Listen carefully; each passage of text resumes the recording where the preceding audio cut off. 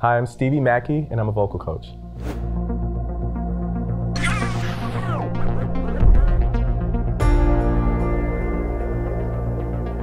My sister and I would always sing in church. It was so common that I thought that everybody sang.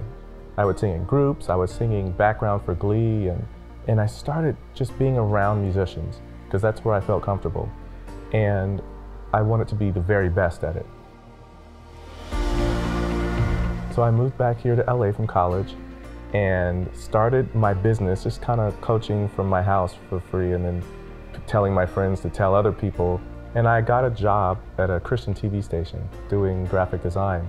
It was cool. It was cool. It wasn't what I liked to do or loved to do, but I thought it'd be something to, that could that was consistent to make money and and so I went through a little period of, of a little downtime, a little depressing and trying to figure out my life and what I was meant to do and what I was supposed to do. And I knew, it was interesting when my boss told me I was laid off, he said, go do music. You're supposed to be singing. You're supposed to be doing music. And I said, okay. And I didn't know if that was a blessing or, or what, you know? And I had to kind of find my way on my own. I started doing voice lessons. I remember doing it for free at first, just because I liked doing it. And I, I was always singing everywhere and started my business just kind of coaching from my house for free and then telling my friends to tell other people. And so I started teaching like a younger pop style of singing to make a living here. And I realized people wanted to sing proper and they wanted to sing with soul. There's been some some moments where I feel like this is so what I'm supposed to do that I can't even explain it. I mean, one of them is doing voices for Family Guy.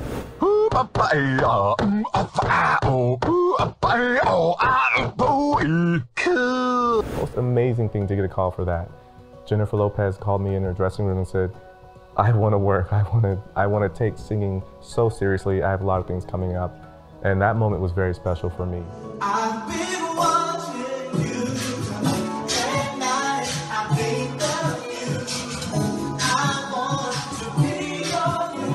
I knew for sure at that moment I was in the right place and that I was ready.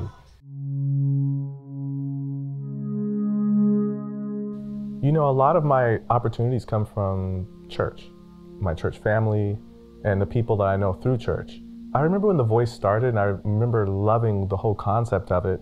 And I was working here at home vocal coaching, and I said it'd be nice to get out the house and do something with The Voice.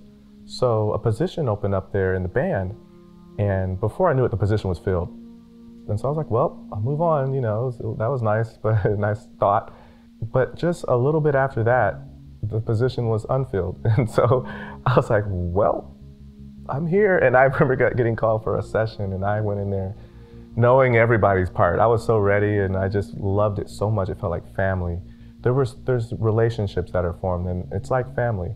And who knew we'd be going into season 11 now? And so it's been an amazing journey, and I've learned so much there.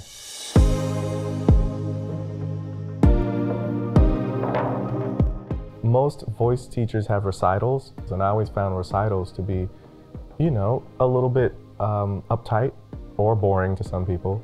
So I, I started just having parties here, and uh, a lot of times I worked on weekends, so it was a day that I was home, and I felt like people could just come out because nothing else was going on.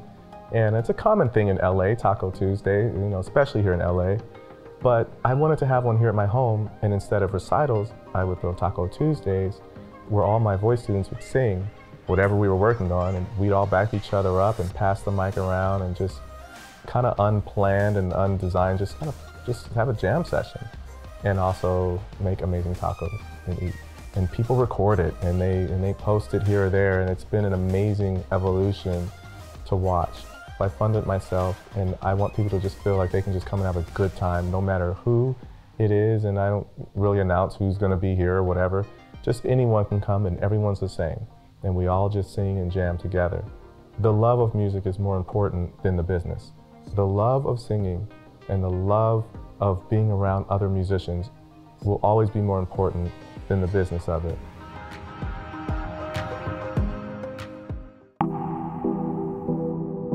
As a teacher, you don't teach knowledge all the time. You, you're really teaching someone how to think. To do that, I, I try to make everyone realize that they're a character and that the main goal is to communicate, to tell the story, to connect with people. The voice has to follow that. I can't just say, be great. What does that mean technically as a singer? What does it mean? It means if someone needs to hear this song, if someone needs to hear this story, how are you going to tell it to them? There's an internal line inside of you that connects to the song, and then there's a line that connects to the person who really needs it. And they're waiting for this story, they're waiting to hear it.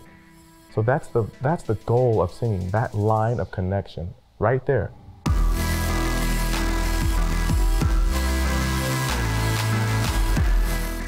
So it has to become a habit. Everything we work on has to become a habit. And that's where vocal lessons come into play. And that's why they're so important. You have this activity and this daily practice of you getting to know your instrument.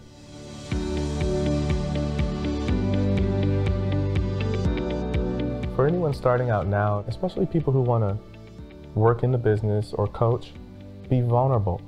Open up, and let people see how this works. Let them see a mistake and then let them see you fix it. Use Facebook and Instagram and, and these mediums as much as possible to help promote who you are.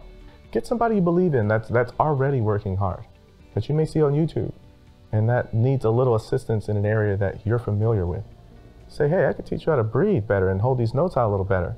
I could teach you, just hit them up and say, just let's, let's work together. Don't worry about the money. Let's work together, just me and you. People help each other. We can't do this alone. We have to help each other. You know, something like that that you can afford to do, even if you're working at CVS on the side, or if you're working at Zara or wherever on the side, come home and do that in the evening and see one person. And then that person, I guarantee you, will tell their friend. And one of the friends they tell will be able to pay you more than Zara does working there all day. You see what I'm saying? It's all relationships. You work, they tell their friends, they tell their friends. Not necessarily the big names and all that. Focus on an artist that you really believe in. And you have to make sure you're studied up and good on your end, but then I believe the doors will open.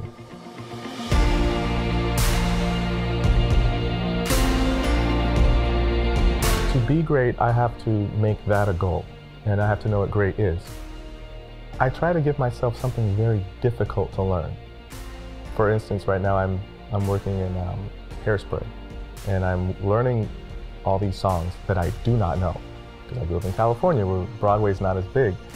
Anyway, I'm learning tons of songs and one day I had to learn 25 songs and I'm and I know it was hard for me. It's very hard to do and I'm sight reading and I knew that there are people better at sight reading in the room than me. And so I put myself in these positions purposely so that I can be great. I am uncomfortable sometimes so I can be great. I get frustrated with myself sometimes. And I say, I should be better at this. And it makes me go home and study more so I can be great. You have to be around people that are much better than you. If you're the best singer in the room, you're in the wrong room, go find some other rooms. We're better singers, smarter people. Hang around the greats hang around people that are so much better at, at what they like to do that makes you look lazy. You know, and if you're not feeling that you should be better at something, you're probably in the wrong place. And so I purposely put myself in tough situations. The next time I have to learn this many songs, I'll say, got it. I'm greater because I did it last time. I like to sing with people, in front, behind. I like to sing backup. I like to sing in different voices. I like the art of singing more than anything else. And I don't mind being in front and I'm not scared of it, but I enjoy singing with my friends in the back and supporting artists and changing lives that way. I think I enjoy that more. I don't think I'd be happier as a famous artist. I mean, if, if God wants me to do any more than this, I'm willing to do it. And um, it may happen one day.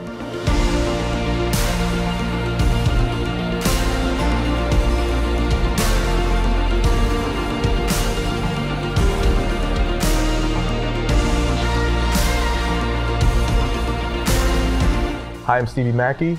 I'm a vocal coach, What are you doing to be great? Leave some comments below.